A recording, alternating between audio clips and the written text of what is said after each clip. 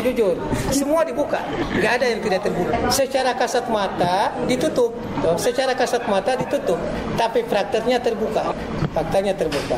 Artinya kan begini, kalau kita mau bicara kepentingan daerah, berarti kan kita bicara tentang kepentingan semua warga, seluruh elemen masyarakat ya kita harus bicarakan. Tempat hiburan malam ini kan juga dia ada manfaat dari sisi ekonomi toh, untuk kepentingan masyarakat.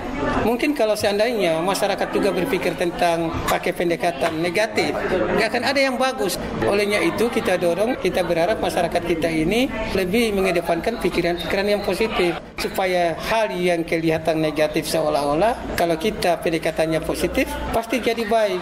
Contoh seperti tempat hiburan malam. Nah ini kan di dalam juga ini kan ada pengusaha tempat hiburan malam.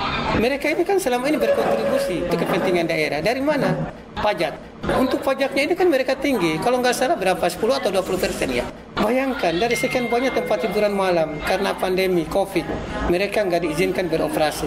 Bayangkan di dalam juga ada karyawan-karyawan, mereka harus hidupi, dia punya keluarga semua. Ini kan tanggung jawab siapa? Nggak mungkin loh tanggung jawab ini dibebankan kepada mereka. Kita berharap pemerintah harus hadir memberikan solusi. Sekarang gini, faktanya memang pemerintah dia larang. Tapi yang tidak nampak itu banyak tempat hiburan itu yang kasat matanya tertutup tapi di dalam ada kegiatan. Nah daripada kucing-kucingan seperti itu, ayo pemerintah izinkan saja, toh, supaya dari sisi pendapatan untuk pajak itu jelas untuk kepentingan masyarakat. Nah kalau kita mau jujur, ayo kita telepon di tempat hiburan umpama, pasti mereka, iya abang ada, tapi ada tapinya tapi kita nggak usah pakai tapi-tapian. Kalau memang ditutup ya ditutup.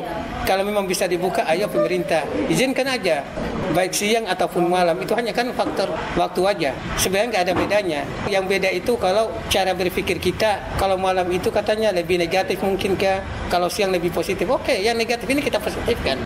Supaya siang dan malam nggak ada masalah. Supaya kita juga jangan stres. Masyarakat Mimika jangan stres tempat hiburan ini kan untuk kita supaya bagaimana meluangkan waktu kita dari tadinya sudah beban berpikir ya bisa kita refreshing